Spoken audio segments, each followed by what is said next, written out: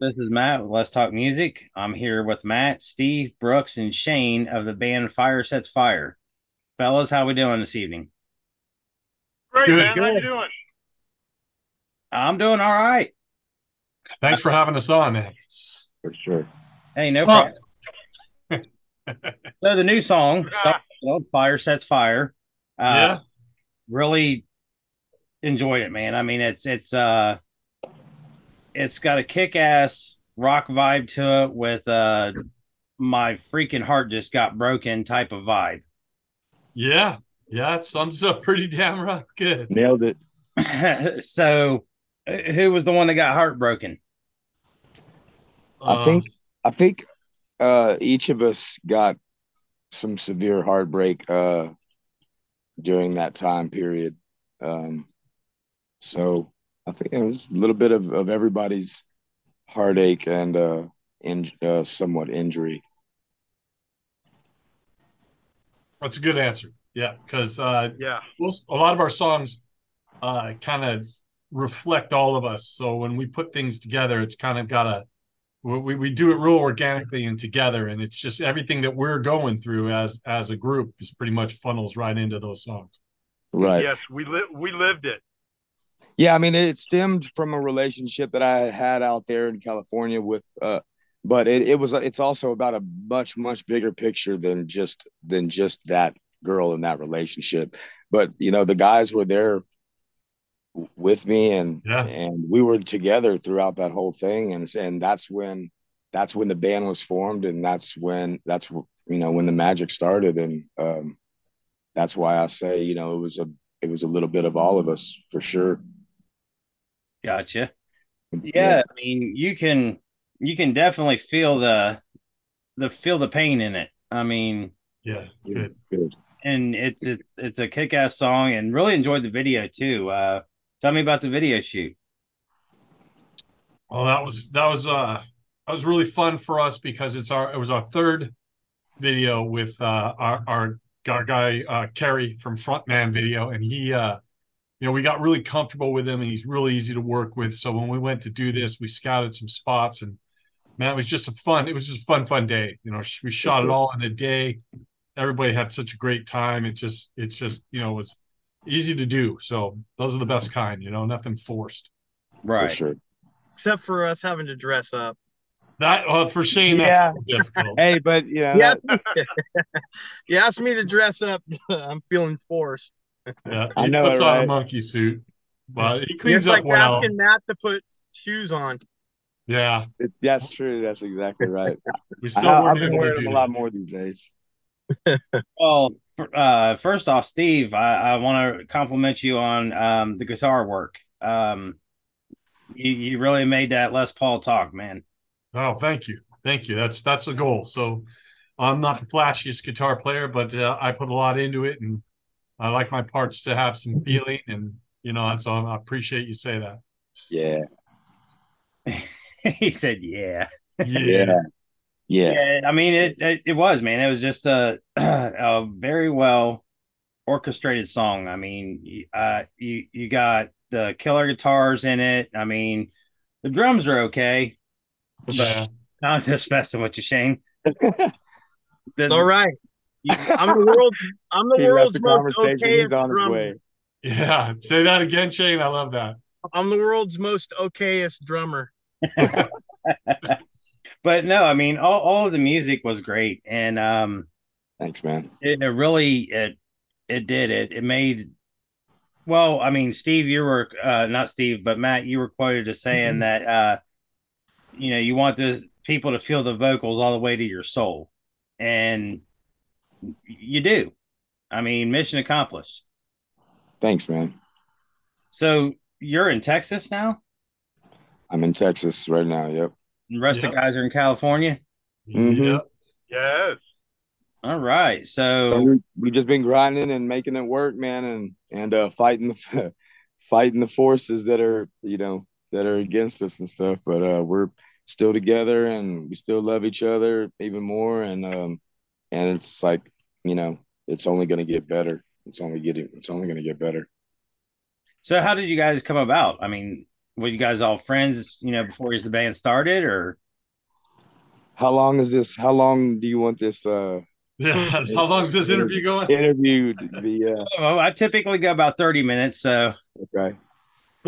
Well, I- Steve and I I, think- Steve and I have been in bands since the early '90s, and uh, so we always in between like projects or whatever. Even if something wasn't really like going, we would uh we would always just keep our chops up and we'd, we'd go in and, and jam out. So we were always during all these periods of time, we started coming up with a lot of ideas and, and stuff started really kind of, you know, uh, gelling. Had a few, you know, solid ideas for songs and riffs and structures and just like, you know, basic frameworks for songs. And then, uh, you know, we met Matt, they just all like some, you know, the, the ones that were there that were good and usable, like just happened. I mean, he had, he put words right in there and uh, the songs almost wrote themselves. For sure, they absolutely did 100%. I like. Let me. I'll try to nutshell it um because I feel I need to say something on this. Um, I plunged into California um and was basically on the streets of Long Beach for about two and a half years or so, and um, I posted a a Craigslist ad, and uh, Steve responded and long story short, um, he came and basically him and Brooks and I mean they they rescued me. They came and they rescued me, and they were also the band that I had been, that I had prayed for like for since you know since the beginning. So so and they still are, and that's that's that's pretty neat. That is pretty neat. where are you originally from, Matt? Where am I originally from? Yeah. Houston, Texas. Oh, okay. Is that where Yeah. You're at now, or Yeah, I'm in Houston. oh, okay? And the rest of you guys are all out of Cali. Yeah, yeah. Yeah. COVID, COVID hurt us, man. You know, we were sure. doing things and rolling a lot, and then COVID came along and, and killed us. You know, Matt had had you know was was struggling. He he he had to go back home. You know, we were all dead in the water. I mean, it's not boohoo for us. Everybody everybody suffered in, oh, especially in the entertainment. But it, it kind of put it where it was. He's there. We're working this way right now, and now things are moving towards a way where we'll probably be together a, a lot more again. But uh, it, you know, it took a toll. It took a toll on everybody. It really It's- did. It was like we were gaining momentum, and then it was just like, Yeah. no, Everywhere, not, not everywhere now. shut down. No gig. Yeah. Nowhere to Yeah. play. Steve You know, had surgery, like uh, Brooks did too. I mean, like it, you know, just forces were were against us for sure, you know. But You you don't know many how many times I've heard that, man. Um, Sure, sure. And it's Yeah. tough for us, the little band. We don't have a full support system. We're funding ourselves. You know, we're we're getting to the point and and, and like he said, we were just man, we were getting some momentum. We're Sure. talking to management, we're talking to people that are gonna elevate us to the next level. And you know, not like I said, everybody suffered, but the big bands, they they lost money and and you know they they they they but they could recover. You know, for us to push that hard and get that ball rolling, boy, when it takes it, you know, the rug under you, it's tough. It's tough to recover. you know? Well, for sure, I, I get that, Steve. I mean, most of the bands I do are you know DIY bands. They're uh, sure. I've I've maybe Yeah. done three guys that were signed. You know, out of 150 something videos. Yeah. Yep. my my thing is is trust me i mean it would be great to have you know metallica megadeth somebody like that on on my you know youtube but um i i feel like i i enjoy the the diy bands a lot more because of their work ethic and sure. their um uh, their willingness to succeed you know and and you guys are you know we all can just sit here and chat and it's not like you know guys dismiss what i'm asking or anything like that and and i feel like the you know the bigger bands that have been around for a long time are gonna you know do something like that and i, I know i've heard that uh if you don't want to hate them don't ever meet your heroes so Yeah. Yeah. Amen. Yeah. Be careful Yeah, what man. you wish for. We're lucky. We're lucky. We're nobody's heroes, so nobody hates us yet. Yeah. Uh, Shane, I mean, you're you're kind of my hero, bub. Yeah. I, I like. you, you- well, I'll make sure that you hate me by the end of this interview. Then All right. you're like, shut up, mute. hey, you know what? There, there's nothing wrong with a little comedy in it, man. I love that. You know, it's, it's Got to have some fun, man. For right. sure. And that's what it is, man. That's I'm I'm not, you know, I don't have any journalism background. Uh, you know, I've never worked for a radio company or anything like that. I just I love music. Um, and when I hear something I like, you know, I say, hey, can I talk to them guys? And you know, these these publicists, especially Shauna, she's like been my biggest cheerleader since day one.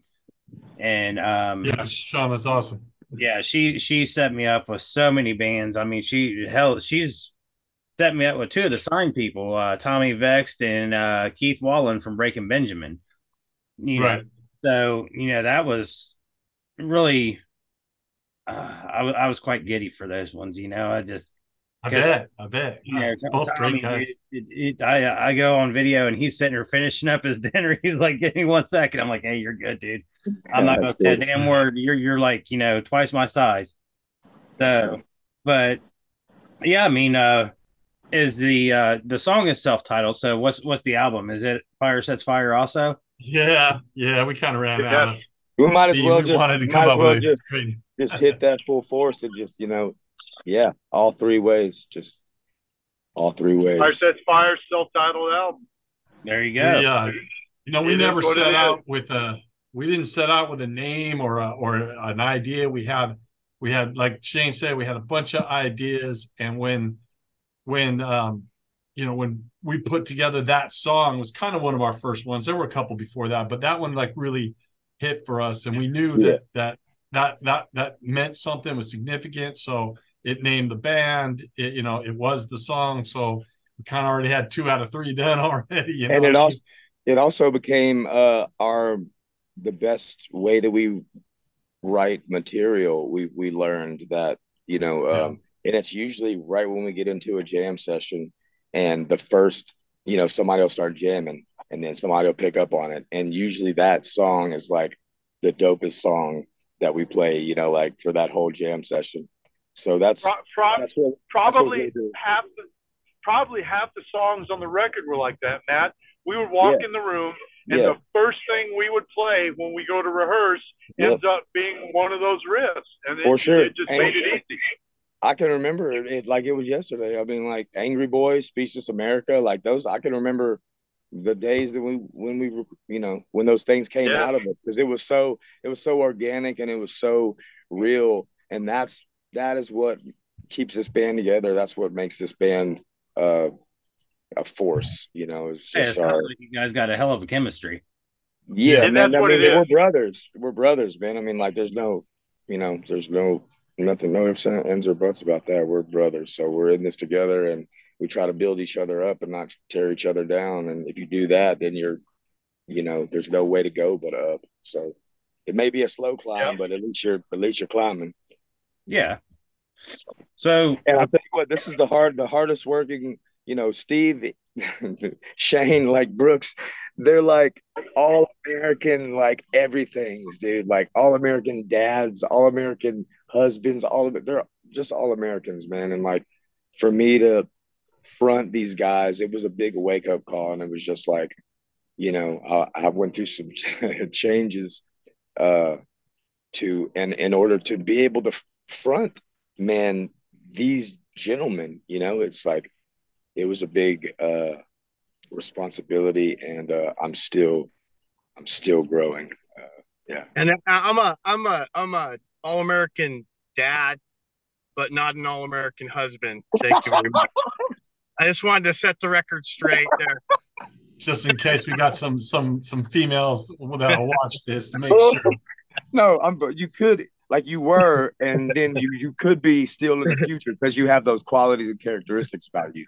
Thank Yeah. you. Thank you. Hey, hey, we'll we'll put that on the description. All right. Yeah, Disclaimer. Just make sure that everyone knows about that. It's a fire. We'll make a fire sets fire Tinder profile. There we go. uh, say no more, bro. I'm on it. Yeah. So um, what about gigs, man? Anything coming up in the works? Uh, just putting some stuff together now. Like we've been really focused on writing. We put our last album out, and then um, you know in 2018, and we wrote a lot of that. Uh, and then that the COVID thing. So what we've really been doing is putting together new music. We want to bring some more music. We we love these songs, but we're ready for some new stuff. So um, that's that's what we're working on, and, and we'll be gigging in the summer. Okay. Yeah, the momentum is just now, you know, getting back up under our feet. We finally got, you know, the video, the video we've been waiting to release out and stuff, and it's doing, you know, Doing pretty well. well from what it seems. And uh, you know, yeah, we're ready. We're definitely ready. Yeah, we'll So, play tomorrow, but uh, the the real idea, the real focus on us is getting some getting some new music. For It's, sure. it's been four sure. years, almost five years now. Oh, Yeah. Yeah, yeah, exactly. Yeah, Yeah, that corona, that corona, you know, not not to just blame it all, all on that, but like that's that was a big sledgehammer to what everything we had going on, yeah, you know. But uh, but whatever, you know, it's like pick yourself up, rise from the ashes, and get better and be better, and and that's what we're doing, and that's what we'll continue to do. So yeah. on and on, fire everything. Fire everything. I, I love the uh, the enthusiasm and you know just the positivity. I mean, it, it did it, it crushed a lot, man. Uh, I know quite a few uh, venues around here that that damn near didn't make it, and there was a couple that didn't. And you know, same with uh, you know local bars that people play at, or you know bars that have been around for a long time where you can just go and have a beer and some food, you know, and Absolutely. and, and you know there was just a lot of businesses that went down i mean i know ohio wasn't as tight as california with it but um it uh It affected everyone, man. yeah it did and uh, you know i remember when they first decided to allow a concert um it was at the newport music hall um and it was they came on the radio and they said look this is how things have got to be okay you're going to have to show a vaccination you're going to have to have a mask. But people need this you know people need to get out and mingle amongst each other. They need live music and the musicians as well as the fans need it too. The fans need it just as much as the as the bands need it. They and Uh, yeah. they're- want to get back out. yeah. You know, I mean- even here in Hollywood, one of the most famous clubs in the world, the Whisky it, it is suffering, oh, threatened to go out of business. I mean, it, no one's safe when that kind of stuff happens. oh no no, No.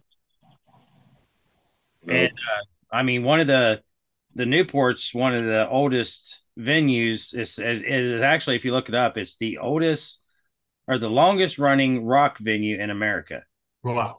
In Columbus, Yeah, and it's consistently. You know, the Whisky's pretty old, but it used to be the uh, Columbus Agora. Now it's the Newport Music Hall.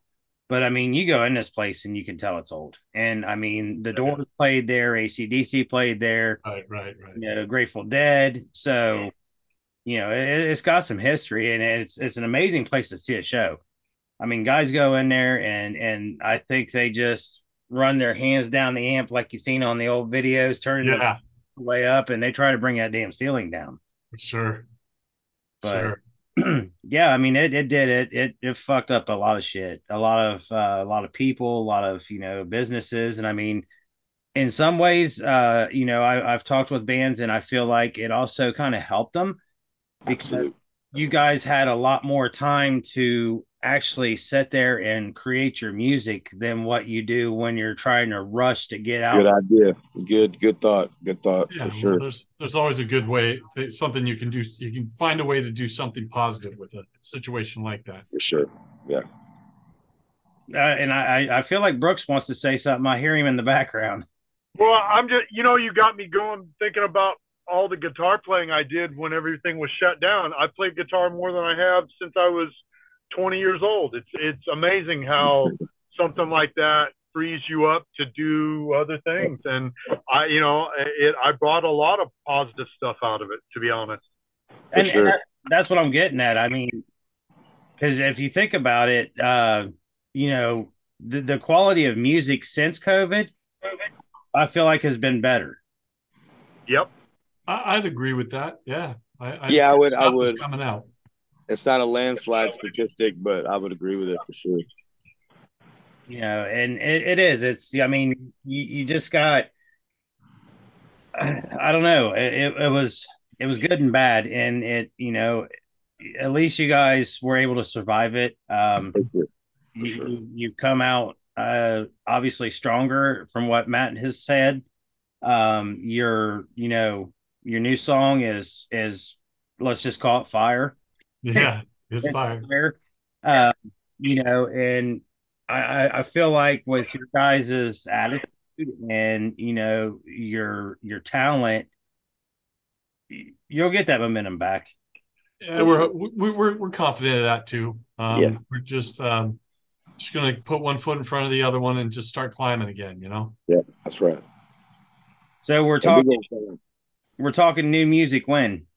Uh, we're looking at this summer. Realistically, I'd like to say sooner, but um, you know, we're just starting to to put down the put down the uh, you know, really finalize everything get these songs ready to go and um and then we're gonna get rocking. Yeah, it's it, it's the prep work, you know, and everybody's got stuff going on with their families and stuff too. So uh the you know, but once the prep work is combined in the marinade, then that's when we really go to work. And we when we go to work, we go to work hard and we get we get stuff done fast. So that's what's good about us. Oh yeah. So do you guys do your own mixing and mastering too? Um, we didn't. We, we can, yeah. But um, we do most of our own pre-production. Okay. So uh, we have good recording stuff, um, and um, but it, I think at the end of the day, we like to have outside help uh, because it just gives you other ears and eyes and opinions and right. things like that. And it's easy to get locked up in your own box in your own head. Um, and um, it's really healthy to have somebody else kind of saying, "Hey, let's try this, let's try that." Let's you know, and push you a little bit, you know. Right. So we we definitely will do that again with this recording you know. Yeah. All right, guys. Well, um, we are just about out of time. Great. Appreciate it. I appreciate you being on. Uh, like we appreciate you, man. Thank, thank, you for having us so much. Yeah, thanks for having us. No problem. I mean, like I said, I, I love the new music. Um, and that's one of the great things about, like I said, being able to do this and, and working with all these publicists is, you know, I'm starting to work with a lot from over in Europe too. And I mean, just to be able to hear music from all around the world has been um, it, has been a blessing. I, I love it. Fantastic. Yeah, we yeah. got to support the local musicians. So, you know. Well, yeah. Hey, everybody started out local, right? Yeah, that's right. That's yeah. right. So, yeah, we appreciate it. Well, keep an eye out for us, uh, and we'll be sending you new stuff when we get it. But until then, people can go to the YouTube channel, hit us up on the socials look at Shane's Tinder profile, whatever. You know, his, his OnlyFans, his OnlyFans yeah. page. Yeah, OnlyFans. No, I'm good. Only I'm good. I'm all right. All I sell on the fa- on the site is fans. Only fans. all right, guys. Well, you have a good evening, and thank you very much for being on. All right, we yeah, appreciate man, thank you. you so much. Take care, brother. All right, later. Yeah. All right, bro.